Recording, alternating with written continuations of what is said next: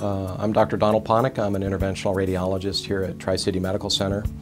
I like uh, interventional radiology. I chose that specialty because it couples uh, diagnostic imaging, which we've seen an enormous revolution in those uh, abilities in diagnostic imaging, with new techniques for intervening in minimally invasive ways. We think that that's a real benefit for patient. It accrues to them because it shortens their hospital stays. It allows us to do things that in some cases we just couldn't do before. And in many cases allows us to replace or augment surgical procedures uh, with less pain, less recovery time, less time off work.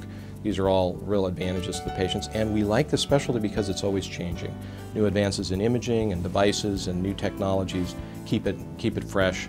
We also participate in research here at Tri-City and kind of help push that frontier forward. I like Tri-City. I liked it when I picked it 20 years ago because of the medical staff.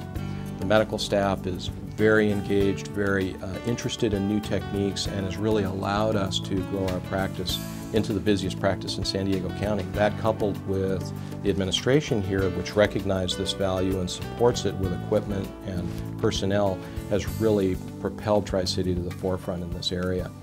Um, I've been in medicine for 27 years. I trained here in San Diego at UC San Diego, uh, graduating in 1983.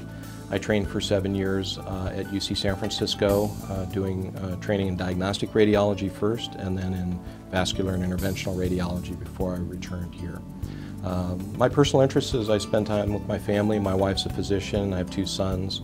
Uh, we play tennis and racquetball. We like to travel, scuba dive, cook, do photography.